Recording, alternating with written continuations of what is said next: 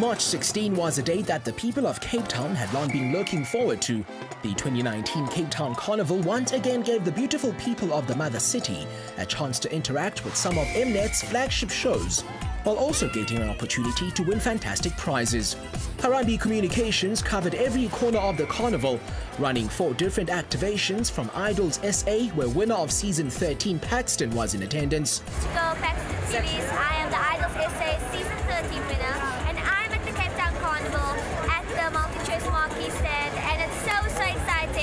To The Bachelor South Africa, Season 1's Bachelor Lee Thompson was his charming self in handing out roses on the day. Hi there, I'm Lee Thompson, South Africa's very first Bachelor, and this is the Cape Town Carnival. While for the show titled Finding the One, six promoters visibly went around looking for those brave enough to sign up to find love. More promoters were handed the task of promoting Mnet's Epic Battles pop-up channel, and this is where some were lucky enough to score great prizes. All in all, another wonderful outing in the city of Cape Town as Harambee Communications ensured Mnet had a great platform to speak to current and potential subscribers, all packed in one day full of fun and merriment.